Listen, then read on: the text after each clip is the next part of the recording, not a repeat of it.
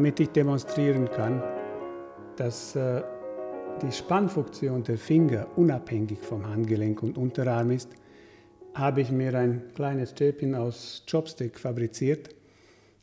Und äh, hier kann ich darstellen, dass die Greiffunktion unabhängig eigentlich vom Handgelenk und vom Unterarm ist. Ich kann meine Hand nach unten, nach oben und seitlich bewegen. Das ist auch bei allen Doppelgriffen wünschenswert, dass wir, dass wir die Hand stabil halten. Also wir könnten mit den Quinten anfangen und dann kann man natürlich, man übt später die Sechsten, Septimen, am besten Tonwiederholungen. Wenn ich das Handgelenk auf und ab bewege, erreiche ich damit, dass mein Handgelenk und Unterarm geschmeidig und flexibel sind und die Fingerspitzen in der Taste verankert sind.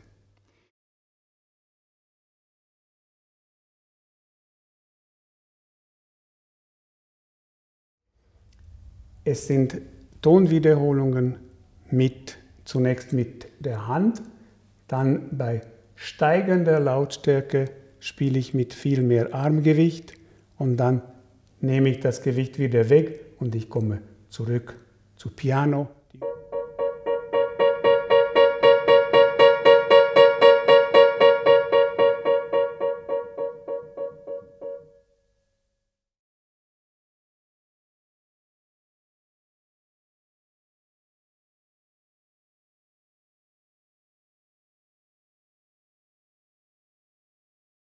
Setzen wir das Gewicht in die Taste, bei der Tonwiederholung gut, vorfixierte Finger, aus der Schulter, Gewicht in die Taste, Forte üben. Achtung, dass das Handgelenk nicht zu steif ist.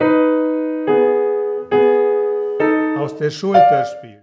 Eine nächste Möglichkeit ist, dass ich die äh, Doppelgriffe zweistimmig übe, eine Stimme lauter und die andere leise, also oben laut und Unterstimme piano, pianissimo.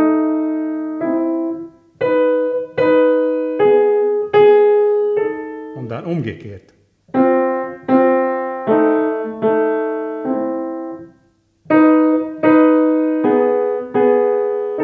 Schon wieder operiere ich mit dem Gewicht. Oberstimme kriegt mehr Gewicht, Unterstimme natürlich weniger, empfindlicher mit dem Finger. Eine weitere Variante ist die Übung von äh, Godowski. Äh, eine Stimme spiele ich staccato, wie bei den Terzen. Und jetzt umgekehrt.